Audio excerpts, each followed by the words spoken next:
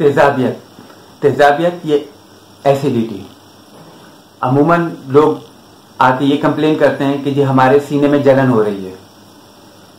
Medicine यकीनन आप homeopathic भी इस्तेमाल कर सकते हैं, उसके लिए आप होम रेमेडीज भी ले सकते हैं, या इसके अलावा भी जो आप चाहें वो ले सकते हैं।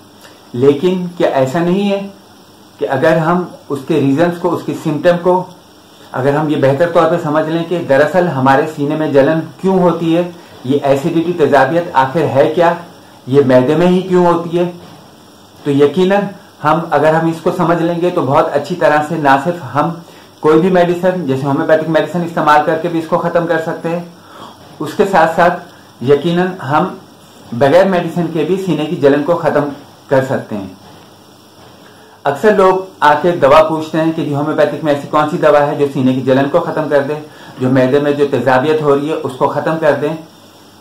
देखें, मैदा हमारा जो होता है बेसिकली ये खाने को हजम करने का बेसिक यहाँ से पर्पज शुरू होता है।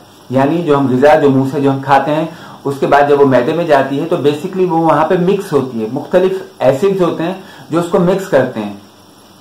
अब ये हमारी हैबिट्स हैं, ये हमारी आदात हैं कि जिसके ज़रिए से हम अपने इस तेजाबियत को खत्म कर सकते हैं।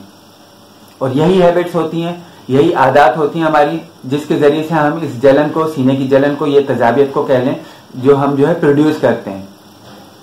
जैसे मिसाल के तौर पर रात को लेट खाना खाना, रात के खाने के बाद वॉक ना करना, ये वो चीज़ें हैं जो मैदे में तेजाबियत को बढ़ाती हैं एसिडिटी को इंक्रीज करती हैं। यानी अगर हम अपनी हैबिट्स को चेंज करें तो यकीनन हमें हो सकता है कि होम्योपैथिक मेडिसिन भी ना लेनी पड़े या कोई और भी दवा ना लेनी पड़े। मैदे में तेजाबियत यकीनन जब गिजा उसमें रुकने लगती है, उसमें सड़ने लगती है तो ये एसिडिटी ज़्यादा होने लगती है, सीने में जलन ज़्यादा होने लगती है। इसके लिए कोशिश करके डाइट कम से कम इस्तेमाल करें, खाना कम इस्तेमाल करें।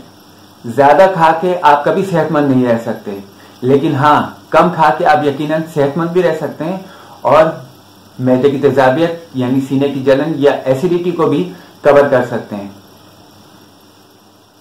उसके अलावा ऐसी गिजाएँ इस्तेमाल करें जो आपके मैदे में हल्की हो। आप बहुत अच्छी तरह से जानते हैं, या हम बहुत अच्छी तरह से जानते हैं कि कौन सी गिजा हमें डिस्टर्ब कर रही है। वो गिजा जो खाने के दो घंटे बाद भी हमें मैदे में जो उसका बोझ महसूस होता रहे तो यकीनन ऐसी गिजा अगर हम बार बार इस्तेमाल करते हैं तो वो मैदे में तेजाबियत का बायस बनती है। और एक दफ़ा जब हमें अंदाज़ा हो जाता है कि कौन सी ऐसी गिजाएँ हैं जिसके खाने के बाद जो है हमारे मैदे पे बोझ नहीं हो रहा, एक घंटे बाद, डेढ़ घंटे बाद मैदा हमारा हल्का हल्का हो रहा है तो यकीनन वो गिजाएँ हमें तेजाबियत पैदा नहीं करेंगी। इसके अलावा अगर हम एक्सरसाइज की भी रूटीन अपना लें, वॉक वो लाजमी करें, पानी प्रॉपर पिए तो यकीनन ये चीज़ें भी हमें मैदे की तेजाबियत को एसिडिटी को कम करने में मामन साबित होंगी।